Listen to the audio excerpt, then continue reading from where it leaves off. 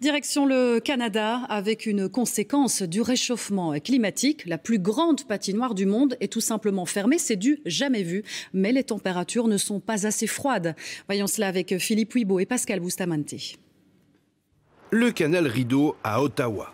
De ce point de vue, on se rend compte que l'on est au bord de la plus grande patinoire du monde. Mais les installations qui permettent d'y faire un petit tour sont encore fermées. En cause, une glace que l'on n'arrive pas à travailler pour la mettre en condition de recevoir des patineurs. Cette année, euh, Mère Nature nous envoie un, défi assez important. la température clémente fait en sorte qu'on a de la difficulté à bâtir une bonne glace solide pour soutenir le poids de nos équipements et euh, des visiteurs.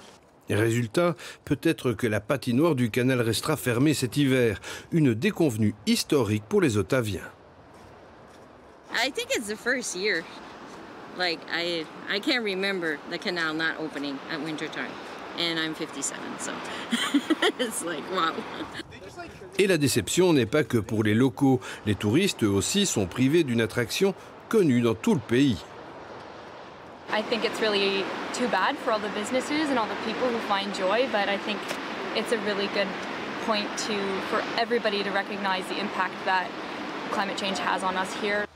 Les autorités de la ville ont fait appel à la science pour observer le phénomène et, qui sait, tenter de dégager une solution pour l'avenir, proche ou lointain.